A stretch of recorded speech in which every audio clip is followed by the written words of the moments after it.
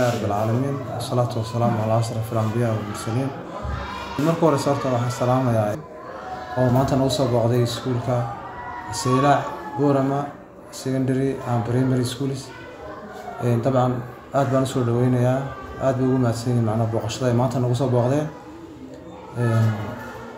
dabcan iskuulku waa wuxuu ku yaalaa location ahaan galbeedka magaalada boorama ama agagaarka airportka weyn ee magaalada boorama iskuulka waxaa laga soo asaasay ama qeyb ka yahay dugsigii barashada shareecada islaamka iyo luqadda carabiga ee macahad useyla baahiyo jira aawadeed. Markii laga yimaado qeybta shareecada ee macadka seylac uu ka koobnaa dalab iyo baahi jirta oo xagga waalidka ka timtay daraaddeed baa waxaa dib loo create gareeyey ama loo sameeyey mataqaanaa qeybtan mataqaanaa maadiga iyo shareecada isku jirta oo la yidhaahdo seylac schools. Halka kii kale uu ka ahaa mataqaanaa macadka seylac uu ka ahaa laakiin kan waxaa la yidhahdaa seylac schools baa la yidhahdaa secondary and primary. Seylac schools muddo wuxuu ku dhex shaqeynayay isla macadka weyn laakiinse alxamdulilah rabbilcaalamiin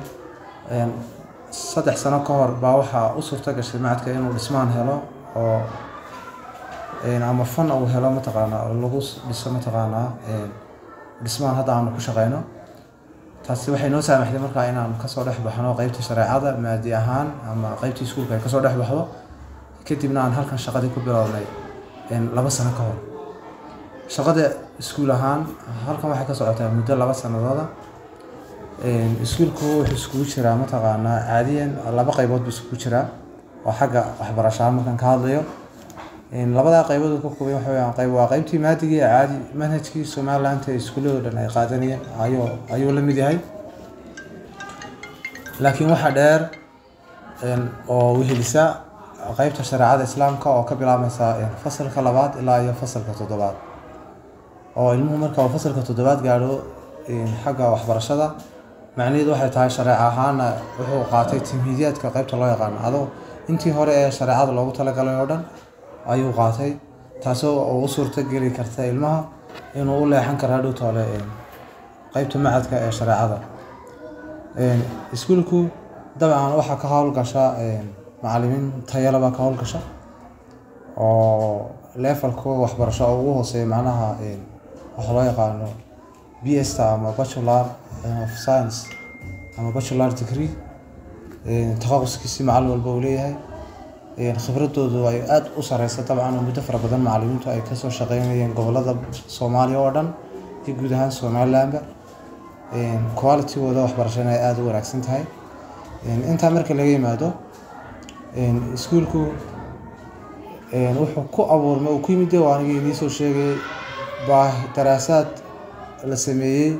oo si fiican oo baaraandegle loo sameeyey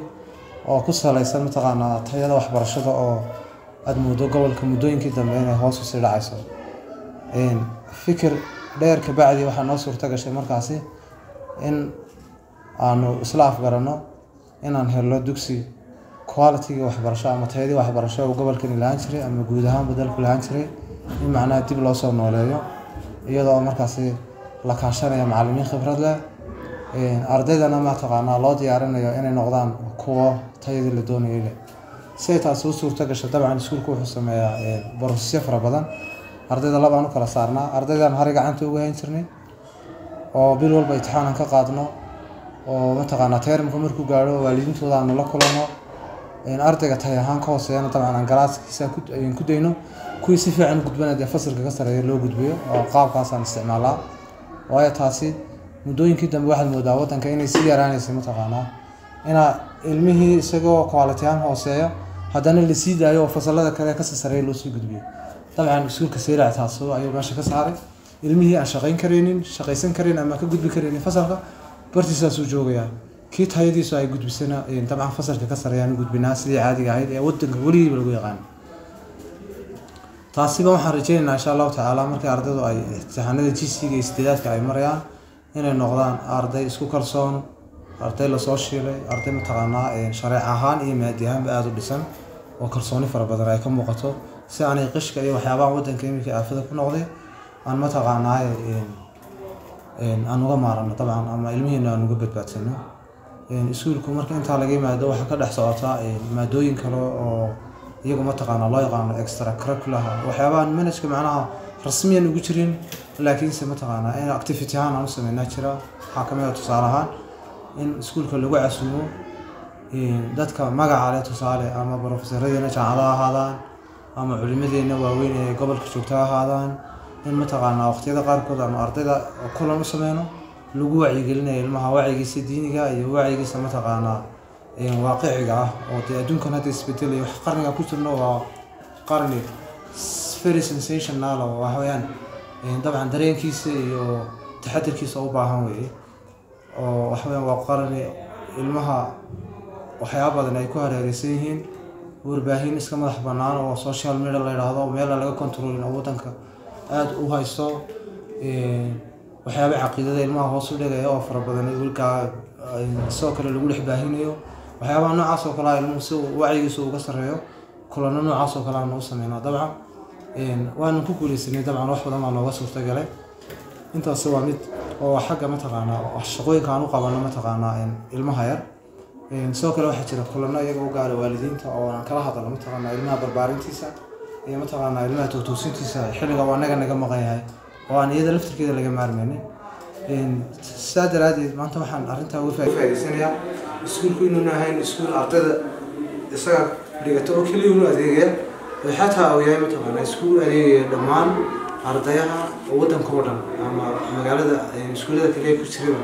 iskuul adeeg u sameynaya dabcan xagga wacyigelinta marka laga hadlayo. Waayo anaga wixii wanaagsan oo aan sameyno waxaan jecelahay inaan la wada sameeyo.